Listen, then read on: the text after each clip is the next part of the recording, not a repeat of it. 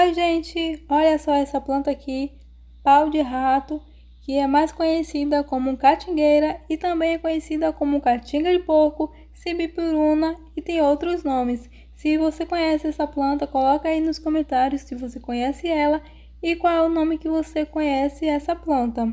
E os usos medicinais dessa planta pode utilizar as folhas, flores e a, a casca e são usadas no tratamento das infecções catarrais, na diarreia, mal-estar estomacal e disenterias.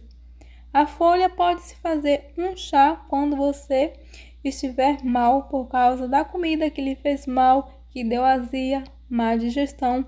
Tome o chá das folhas do pau de rato que vai lhe fazer bem. E a flor você pode usar para infecções do ovário, corrimento, bronquite e para bronquite, tome o chá da flor da catingueira três vezes ao dia durante uma semana. E essa planta também é indicado para banhos purificadores quando bate aquela moleza na alma. E para você fazer o chá das folhas, você vai precisar de uma colher de sopa de folhas picada para 200 ml de água.